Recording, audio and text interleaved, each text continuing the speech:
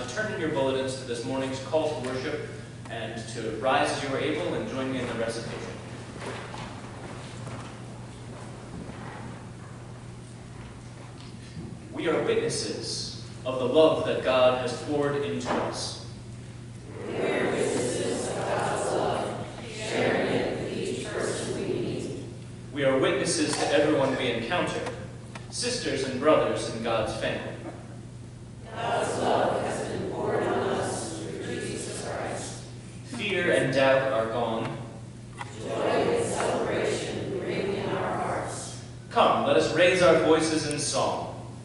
Let us offer our hearts and souls to God in prayer and praise. Amen. Our first hymn this morning is number 171. Thine is the glory, risen conquering Son.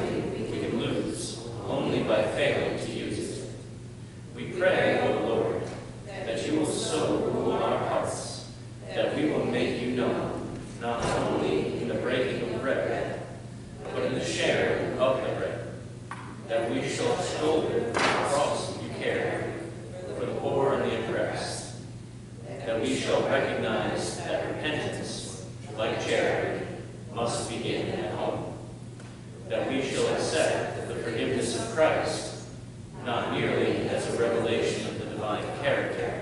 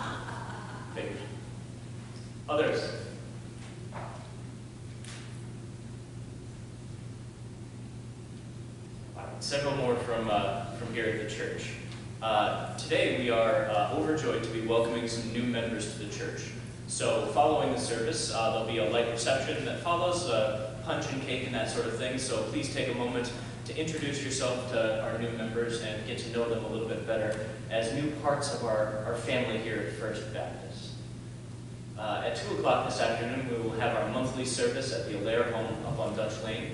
Uh, all those who are inclined are, are welcome to attend, and uh, this, uh, this month we're going to start doing something uh, new there. Um, the folks there sing the same seven hymns each, uh, each month that we're there, and uh, starting today, in addition to our regular worship service, we're going to try and uh, offer a little bit more reflection about the hymns that they're singing because they mean so much to the folks that come to these services. Uh, uh, I've been informed on several occasions when I've messed up the order of the hymns or when I've forgotten something crucial. So this is a, a large part of our witness to that. Uh, also this afternoon, uh, starting at uh, 3.30 for the business meeting and 4 o'clock for the worship service, the annual uh, North Shore Association Spring Rally will be held at the First Baptist Church of Manasquan. So if any of you are down by the shore this afternoon and uh, looking forward to uh, meeting some of our Baptist brothers and sisters from the North Shore Association, you are most heartily welcome to do so. Uh, this week, I will be away from the office, uh, starting unfortunately early tomorrow morning. Uh, I will be away for the week. I'm flying out to the third annual National Baptist Muslim Dialogues in Green Lake uh, So I will be leaving tomorrow morning and I'll be returning midday on Thursday. So uh, in the meantime, please direct all of your calls to the church office and they will hook you up with the appropriate people to uh, handle things in my absence. Uh, in my absence, though, the Bible study will continue. They're going through the final week of their film series this, uh, this Wednesday at 7.30, and we'll be beginning our new study next week, uh, Wednesday at 7.30. If you're interested in joining that study and have not already spoken to me, please let me know, and I'll be sure to get you a copy of the book. Uh, and finally, nope, not finally, there's so much more, so much more. Uh, there's a deacons meeting next week, so deacons, uh, just a reminder that uh, we'll be meeting in Thelma Mountain next week, and the week following that will be the deacons retreat. Um, if you look in your bulletins, there's a small uh, insert. Uh, Unity Coalition of Greater Freehold invites you to a forum informing our future, learning from our past. This is a uh, group that I'm involved in, in here in, uh, in Freehold. It's a collection of clergy members and uh, community members uh, who are seeking to build uh, a stronger sense of unity for the Freehold area. And so this is their first outing, um, and it is a, a collection of speakers talking about the educational system's history and impact within Freehold. So that'll be held at the Court Street School on May 6th uh, from 3 to 5. Uh, you're all invited, invite your friends. I have to talk a little bit at that because I was late to the meeting and I got nominated when I wasn't there. You know how that goes. So uh, if you're not tired of hearing me speak at that point, feel free to join us for that. And finally, uh, uh, last call on the Easter flowers. Uh, most of them have, have started to, to wilt, but their bulbs are still viable. They can be found in the young men's room. Any of you who are interested in taking some of the bulbs and planting in your garden, please do so by today, otherwise we're going to have to get rid of them. So, that was long-winded, but I'm done now. Are there any other announcements for the good of the congregation at this time? And, well, in that case, uh, before we go to our children's moment, uh, I'm going to invite Bruce Krowinski to join me at the front of the church.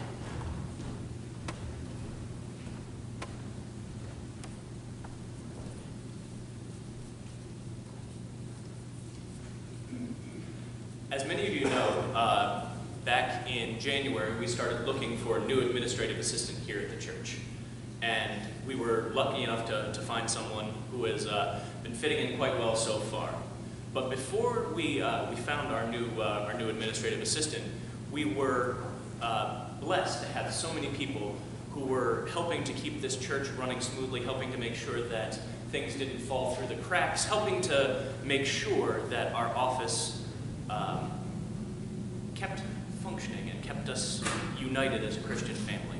So this time, at this time, Bruce and I would like to personally thank all of the people that uh, helped out keeping our church office running.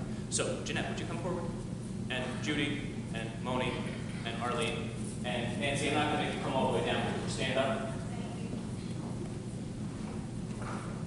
I said your name.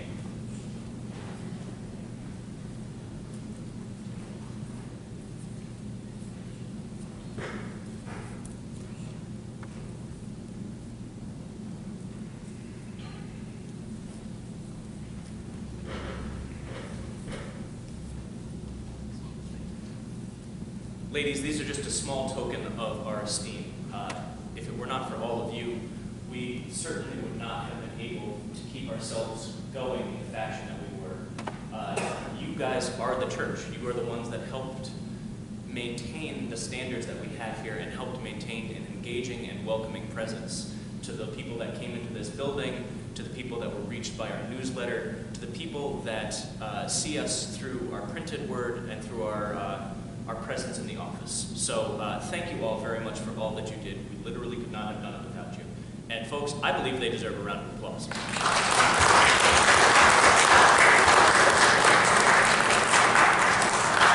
And at this point, I'm going to put our new administrative assistant, Colleen, on the spot. Colleen, why don't you come on down? Ladies, you can all go ahead. I'm not going to make you stand in the spotlight for longer than feels comfortable.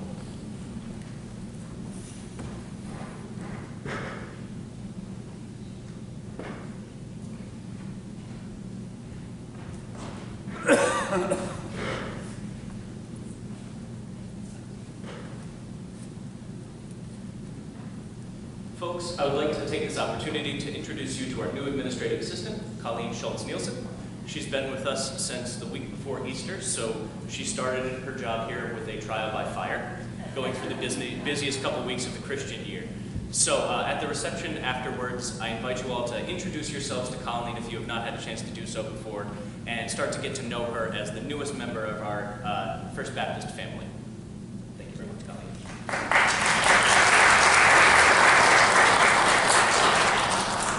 And with that said, uh, I'm going to invite the kids to come forward for the children's moment.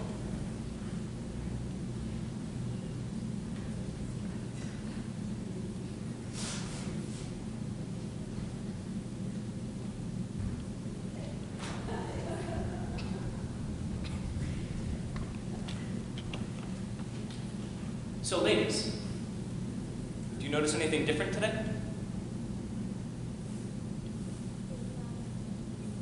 You brought in all of that stuff. Yeah, that's very helpful because that's going to go help some people that are in need of, you know, basic stuff like towels and socks and all of the stuff that we just think we have at our houses. Not everyone has that.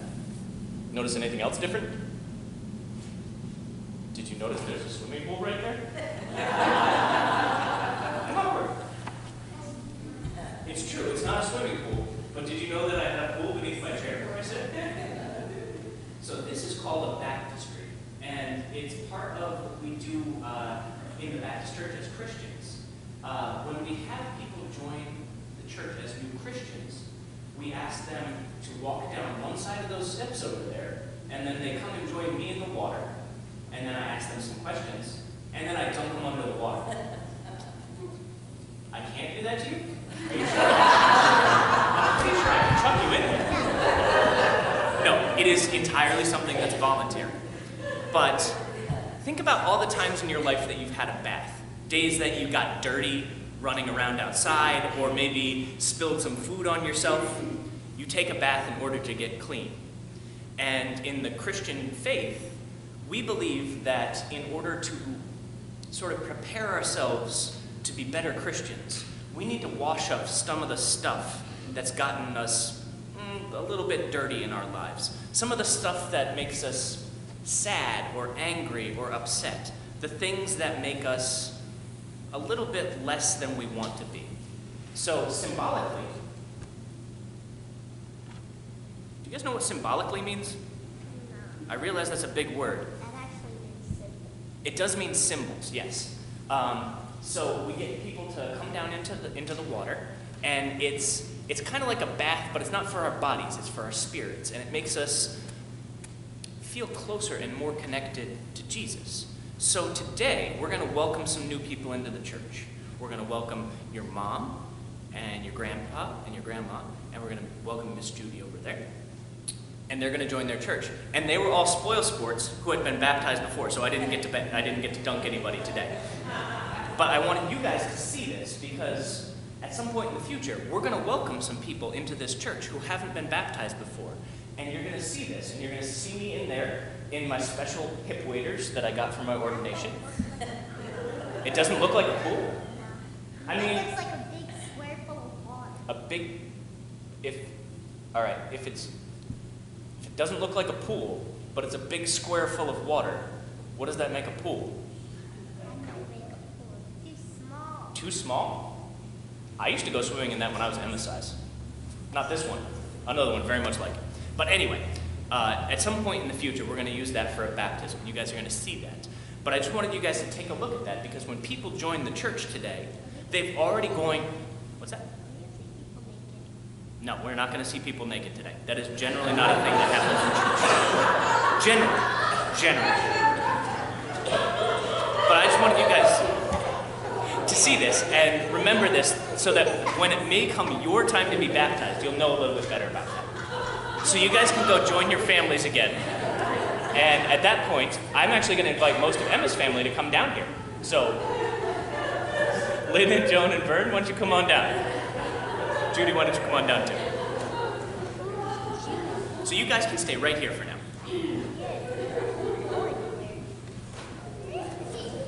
And uh, deacons, I'm going to invite all of you to come and stand over here. Folks.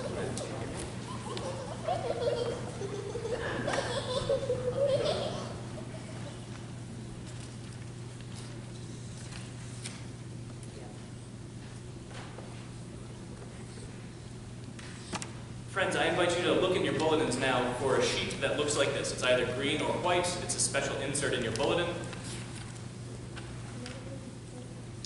And folks in the audience, you get it easy. Your, your responses don't come to the second page, so you get to just hang out for now. Friends, it is my great pleasure this morning to introduce you to our, the newest members of, of this church. They have met with the Board of Deacons and they have been found uh, to be of good Christian character and to be candidates for membership in our new family. We are here this morning to welcome these new members into the community of the First Baptist Church of Freehold. We are not a building, but we are the gathered family of God. We are sisters and brothers in Christ, given our new identities through our baptism into Jesus' death and to his resurrection.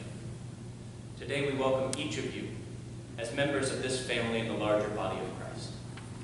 Folks, I present to you Lynn Greenlow, who is Emma's mom. And I present to you her mother, Joan Hayes, her husband, Vern Hayes, and on the end, Judith Krause. They have met with members of our Board of Deacons. They have testified to their Christian experience and had a chance to become more fully involved in the life of this church. They bring with them a variety of experiences. They bring with them a variety of passions for the life of this church. And after our service today, I invite you all, if you have not met them before, to introduce yourselves to them at the reception that follows and to find more, uh, find new ways in which your life can be enriched by coming to know theirs. Folks, is it your wish to make this community of faith, the First Baptist Church, your church family, and the people with whom you will share your journey of faith? Is this the place, and are these the people with whom you will seek to make sense of the issues of your life, your dreams, your faith, who you are, what you are to do, who God, God calls you to be?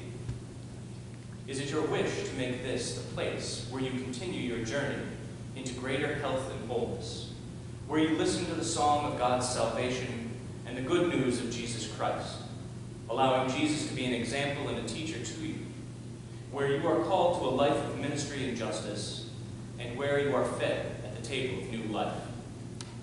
Yes. That is my wish. Will you commit yourself to seek and serve Christ in union with this community of faith? I will, with God's help. Will you pledge your spiritual, social, and financial support to this parish family? I will, with God's help. All right, folks, this is your part of this. Will you who are members of this faith community, who are witnessing these promises, share the joys and sorrows, and do all in your power to support these persons in their life in Christ? We will. Will you welcome Lynn and Joan and Vern and Judy into this family of First Baptists? Embrace their gifts, their needs, and their dreams? Will you recognize that their presence and participation will change the shape of the body and help it grow in new ways? Will you support them in their journeys and assist them in their ministries? We welcome you as fellow workers in God's kingdom, inviting you to grow with us in our faith, reaching out to others with the good news of Jesus Christ. We welcome you as sisters and brothers in Christ, and thank God for this unique opportunity to serve God and one another. May the God to whom we belong equip us for every good work that we do together in His name. We welcome and accept your invitation and commit ourselves to using our time and talents for the good of the congregation. We will strive to live lives worthy of the title Christian and will work with you to spread good news of Jesus Christ. Friends, let us pray. Heavenly Father, as you call James and John, and Simon and Andrew to fish for people, so you have called us to serve you with our talents and our resources. We thank you for bringing to us these new members of the First Baptist Church of Freehold. You have told us that wherever two or more are gathered in your name, there you are with them. Help us, we pray, to see and feel that presence, and that others may come to know you through their interactions with us. Your name we pray. Amen. Friends, welcome to the church.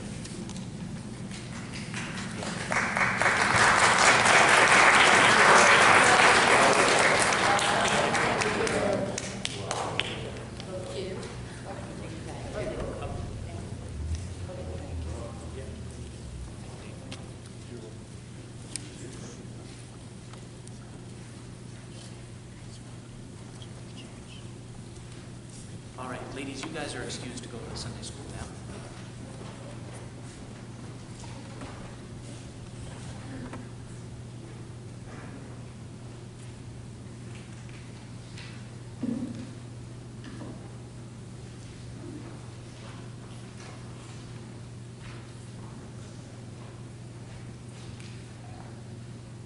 Friends, our, our new members bring us much to be thankful for. As the, as we just heard in our short program, they will change the shape of this church. They will offer new insights, new ideas, new ways of being Christian. They are something for us to be thankful for. Are there other things to be thankful for this morning? Are there things to be thankful for to be lifted up before this congregation? Are there sorrows to be lifted up before this congregation so that all of these things may be brought before the God who brings all of us together? Nancy.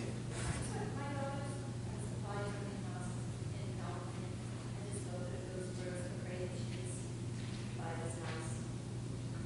Uh, prayers for uh, Nancy's daughter who's uh, homecoming in California. Others. Miriam. I praise um, my cousin who got his stem cell procedure, uh, completed his stem cells with his parent. Okay. Okay, so uh, praise for the success of uh, Miriam's uh, cousin's stem cell procedure. Mona. Praise for my father, who's uh, scheduled for surgery next week. Prayers for Moni's father who's going into surgery next week.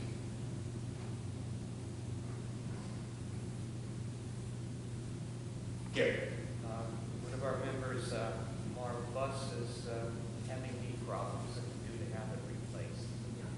So prayers for Marv, who's uh, out today with knee problems and is uh, coming up for uh, knee replacement surgery sometime soon.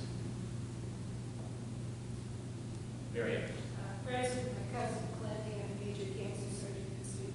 Okay, did you say Clint or Cliff? Clint, Clint. Uh, prayers for Mary Ann's cousin Clint, who had uh, major cancer surgery this week.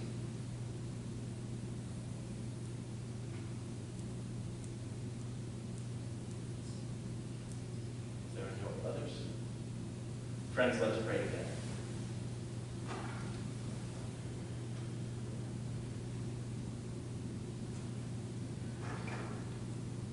Lord, in this Easter season, the light of your love shines on, illuminating the, pla- the places where you are present in our lives. As your bewildered disciples once pondered the stories of your appearance, you penetrated the darkness of their fear and doubt with your words of peace.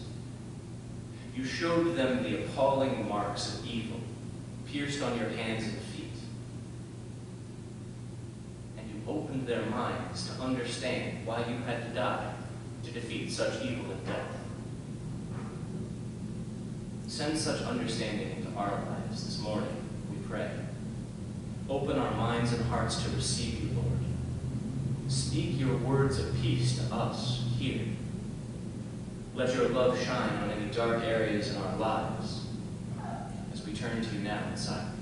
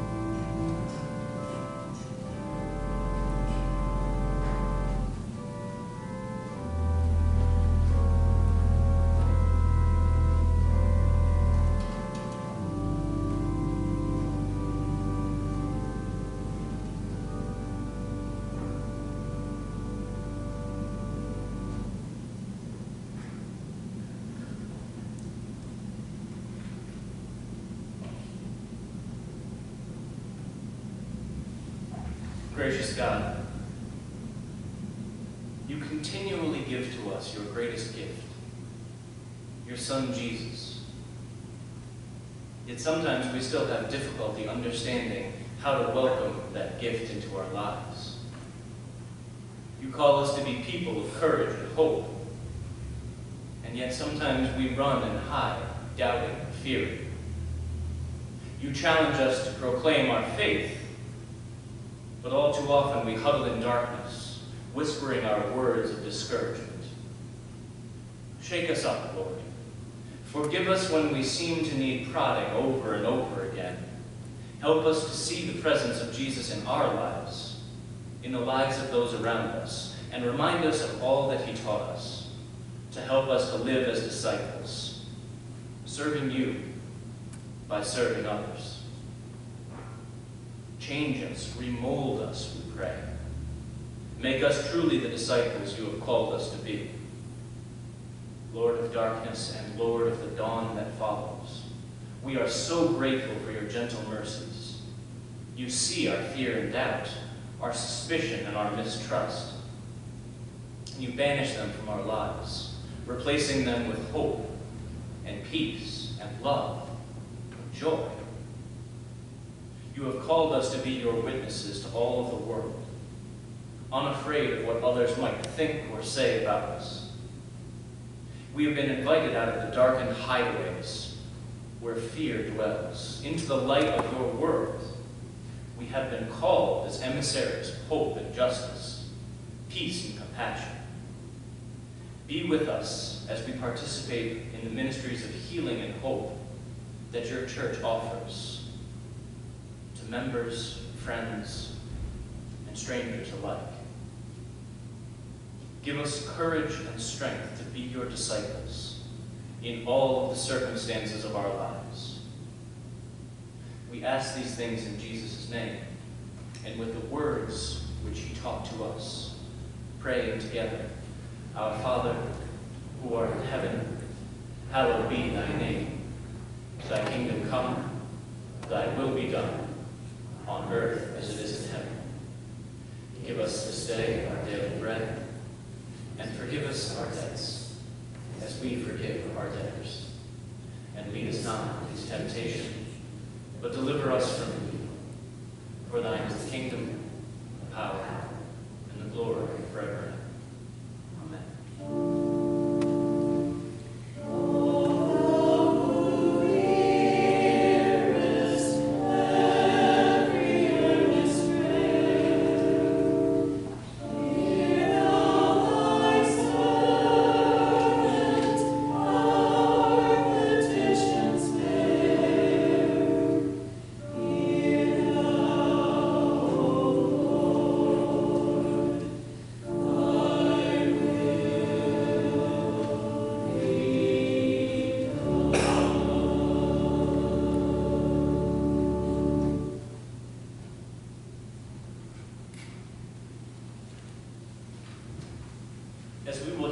Scripture lessons in a few moments,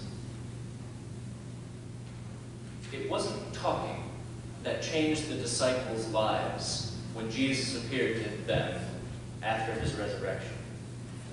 It was the things that he did, his actions, showing them the wounds in his side and his hands, eating with them, teaching them.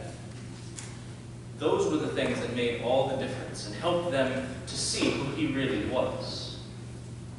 When we share our time, our talents, our treasure through the ministry of this church, our actions, the things that we do, express our commitment to be the church that God calls us to be. Faithful and generous and full of love. And in service of that love, I now invite the ushers to come forward and collect this morning's offering.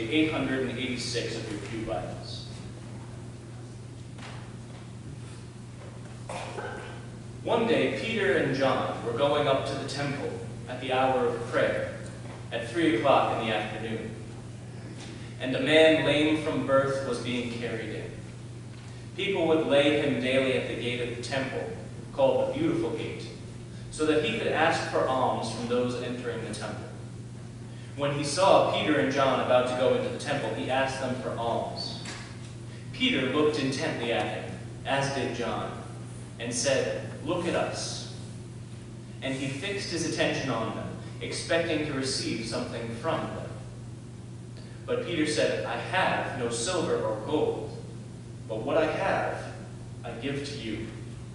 In the name of Jesus Christ of Nazareth, stand up and walk. And he took the man by the right hand and raised him up. And immediately his feet and ankles were made strong. Jumping up, he stood and began to walk. And he entered the temple with them, walking and leaping and praising God. All the people saw him walking and praising God, and they recognized him as the one who used to sit and ask for alms at the beautiful gate. And they were filled with wonder and amazement at what had happened. While the man clung to Peter and John, all the people ran together to them in the portico, called Solomon's portico, utterly astonished. When Peter saw it, he addressed the people, You Israelites, why do you wonder at this? Or why do you stare at us, as though by our own power or piety we had made him walk? The God of Abraham, the God of Isaac, the God of Jacob, the God of our ancestors, has glorified his servant Jesus, whom you handed over and rejected in the presence of Pilate, though he had decided to release him. But you rejected the holy and righteous one and asked to have a murderer given to you. And you killed the author of life, whom God raised from the dead. To this we are witnesses. And by faith in his name, his name itself has made this man strong, whom you see and know. And the faith that is through Jesus has given him this perfect health in the presence of all of you. And now, friends, I know that you acted in ignorance, as did also your rulers. In this way, God fulfilled what he had foretold through all the prophets, that his Messiah would suffer. Repent, therefore, and turn to God, so that your sins may be wiped out.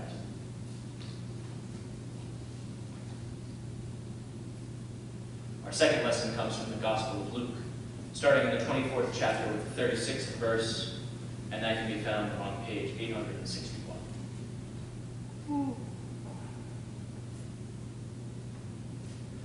While they were talking about all that had happened, Jesus himself appeared among them and said, Peace be with you. They were startled and terrified and thought that they were seeing a ghost. He said to them, Why are you frightened? And why do doubts arise in your hearts? Look at my hands and my feet. See that it is I myself. Touch me and see. For a ghost does not have flesh or bones, as you see that I have. And when Jesus had said this, he showed them his hands and his feet. While in their joy they were disbelieving and still wondering, he said to them, Have you anything here to eat? They gave him a piece of broiled fish, and he took it and ate it in their presence. Then he said to them, These are my words that I spoke to you while I was still with you, that everything written about me in the law of Moses, the prophets, and the Psalms must be fulfilled. Then he opened their minds to understand the Scriptures, and he said to them, Thus is it written that the Messiah is to suffer and to rise from the dead on that third day, and that repentance and forgiveness of sins is to be proclaimed in his name to all nations, beginning from Jerusalem. You are the witnesses of these things. Today we are the witnesses of these things, and may that same understanding that rested upon the disciples that day rest upon us in our worship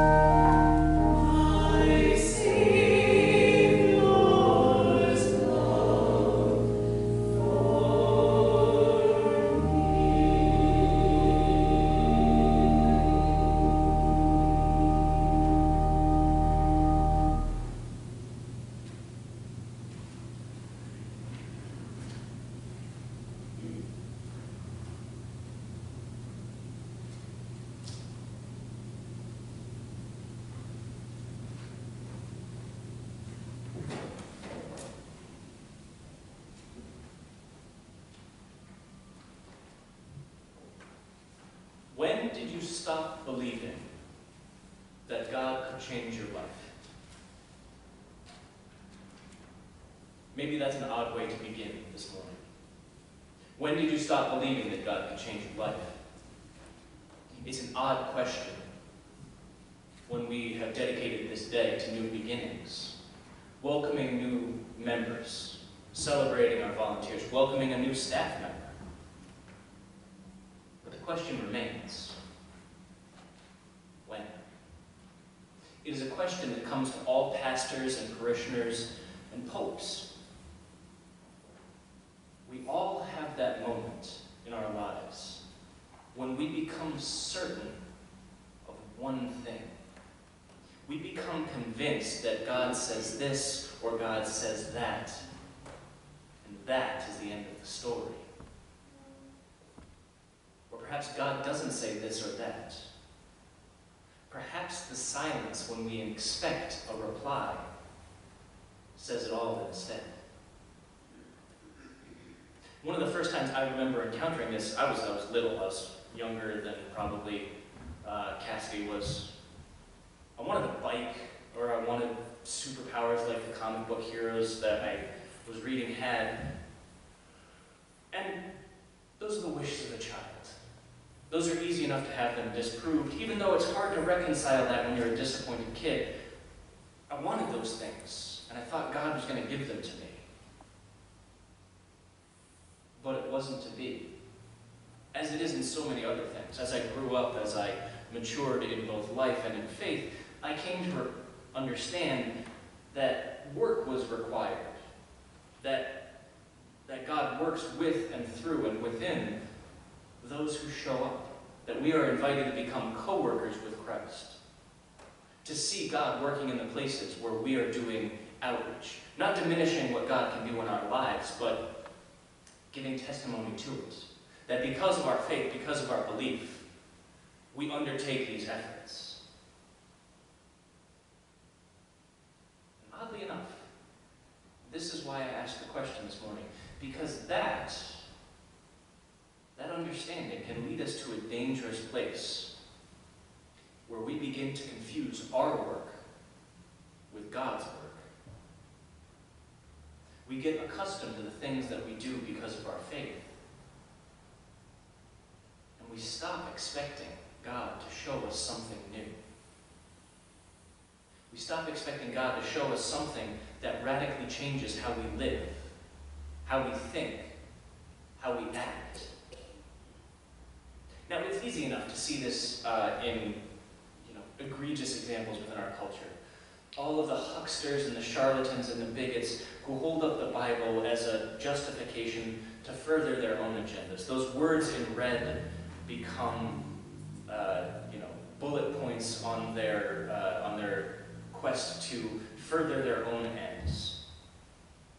It's easy to see that type of understanding in those for whom the words of God and their own self-will are indistinguishable, but it's harder to see in all of the ways that I have substituted my own understanding.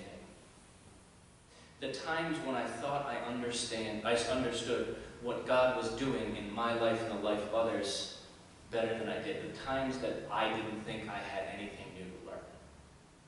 And it's okay to laugh at that. I'm 36 years old and I thought I didn't have anything to learn. Be laughing at me right now.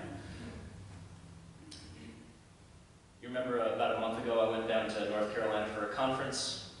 Uh, this conference was uh, uh, reckoning why people are still Christian. The name of the Christian conference was Why Christian? Why are you still a Christian? Uh, it was reckoning with how one is a Christian in this, in this day, this age, this culture. And I had gone there looking for insights for how to reach younger people, how to reach out to, to, to millennials, kids, people that, you know, we are not seeing as much of in our, in our community, but also in the larger Christian community.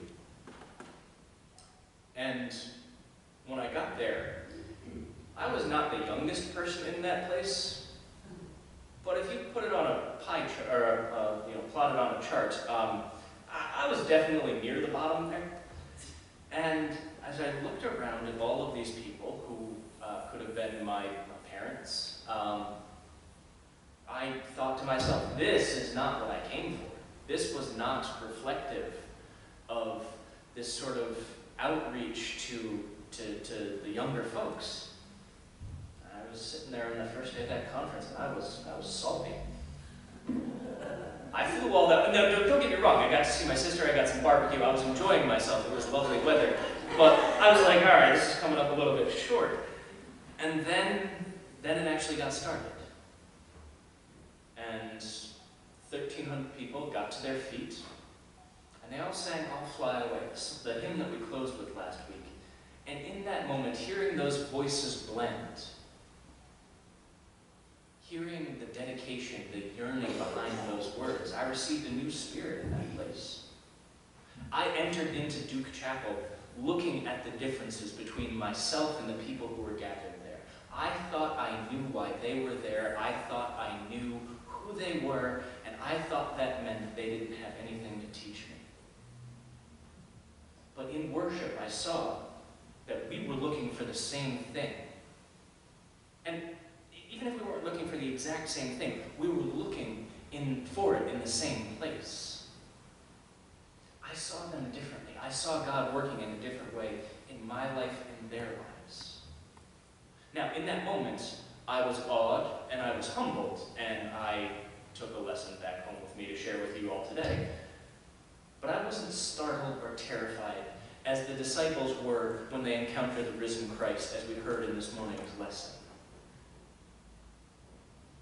I wasn't startled or terrified, but I saw how small my mind had become about this one thing.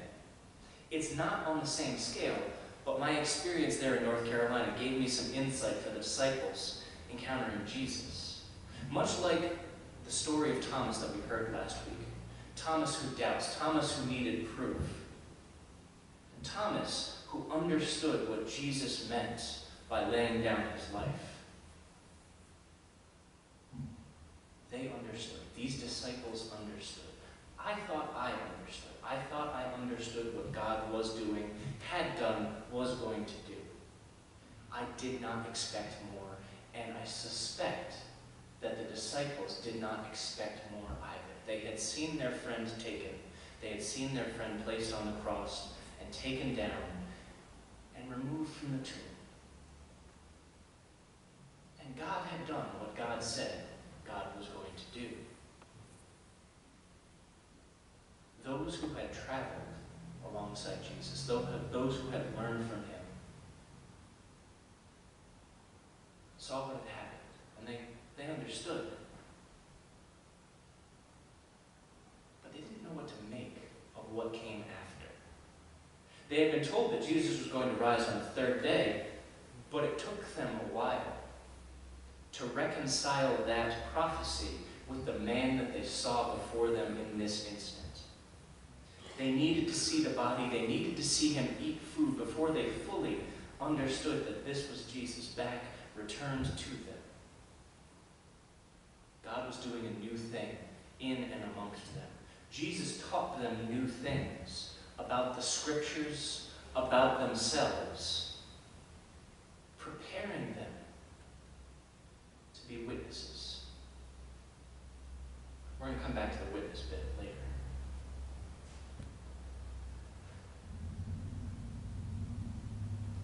This moment where Jesus comes back to his friends, where Jesus speaks to them of new things, opens new understandings to them, this is part of the necessary transformation that, that brings Peter from the night of desertion in the Garden of Gethsemane to the empty tomb on Easter morning, to the temple in the selection you heard from Acts, to the place where he is the one, not he is the one, not just telling about the miracles that he has seen, but where he is the one working those miracles himself. Is the transformation that takes him from the place where his life is the one that is changed to the place where his faith changes the lives of others.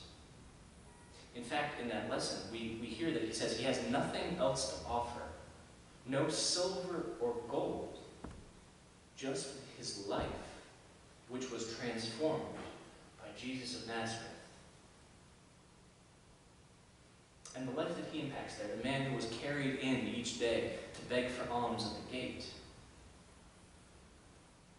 We see another person whose understanding of life, whose understanding of God is closed. The man has faith in God. His family brings his family and friends bring him to the temple so that he can receive alms from the faithful. But he stopped believing that God can change his life.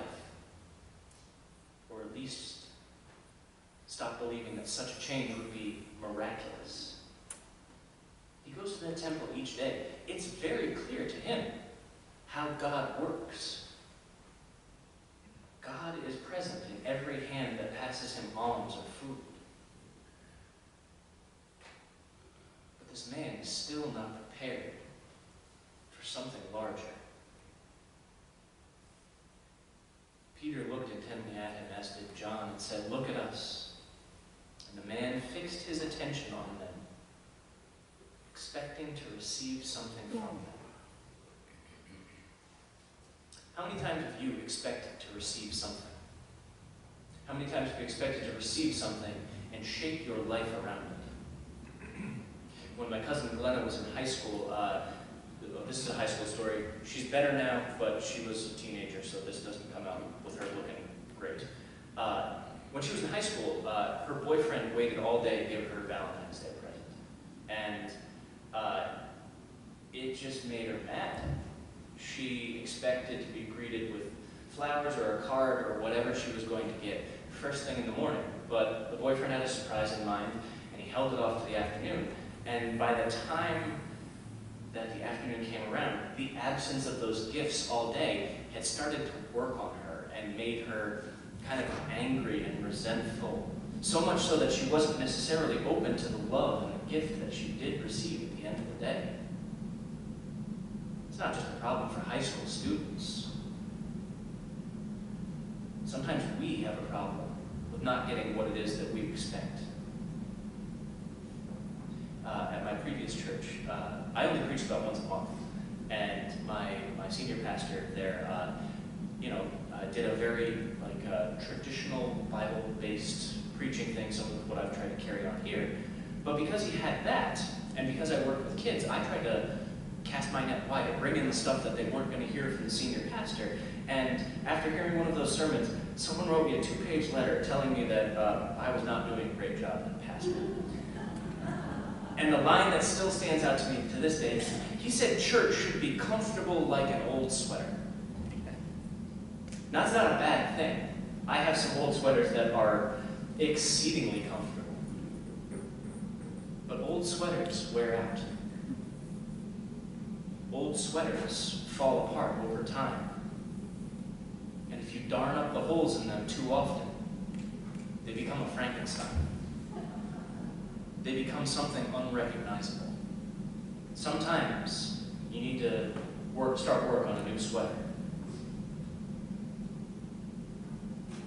In this time of Easter, Scripture obliges us to return to these stories. We hear about Jesus appearing to his disciples this week. We heard about it last week. We heard about it the week before. We return to these stories because Easter asks us to be transformed by them over and over and over. Because Easter does not end when Jesus appears in the upper room. It does not end when he encounters the disciples on the road to Emmaus. It does not end when Peter works his miracle in Solomon's portico, nor does it end in Pentecost when the tongues of fire descend. Easter obliges us to be born over and over again, to continue to have our lives and our circumstances, even our very hope, transformed. Easter asks that we become witnesses. Now, remember earlier I said we were going to come back to witnesses. Both of these lessons contain the word witnesses. Thus it is written that the Messiah is to suffer and to rise from the dead on the third day, and that repentance and forgiveness of sin is to be proclaimed in his name to all nations, beginning from Jerusalem. You are witnesses of these things. But you rejected the holy and righteous one and asked to have a murderer given to you, and you killed the author of life whom God has raised from the dead. To this we are witnesses. Witnesses, observers, those who have seen. But think about what you know. Think about every police report and crime drama you've seen. Witnesses are unreliable, not in the sense that what they see is untrue, but in that there are as many different impressions of an event as there are people who viewed it. Now, thankfully, unlike a court of law, we do not have to determine whether something is true or false. We are not determining guilt or innocence. For us, witnesses are those who react to the transformation in their lives worked by the presence of God. So your response and my response may be different. Your response and my response may look at some things in different ways.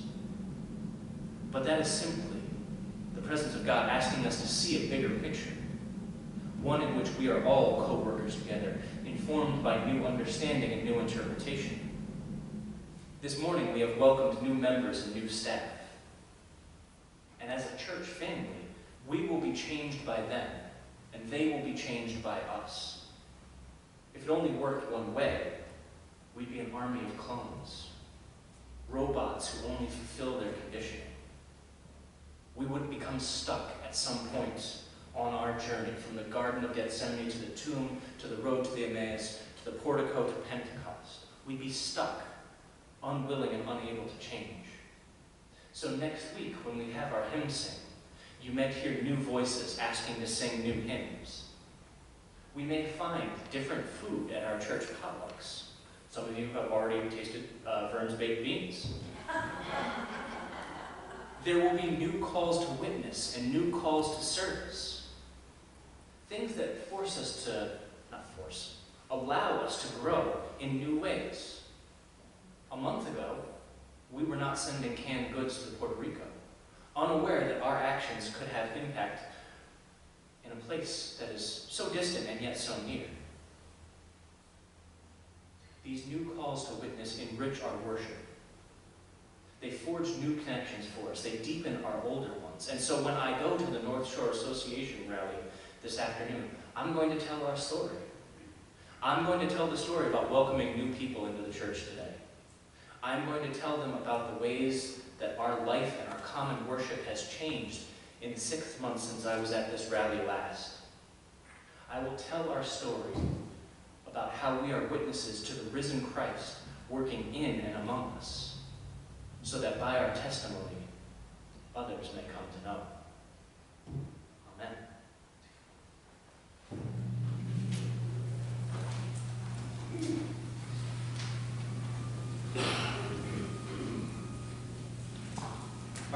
Hymn this morning is an insert and can be found in your bulletin. Christ has risen while the earth slumbers. I invite all of you to rise as you're able and join in the song.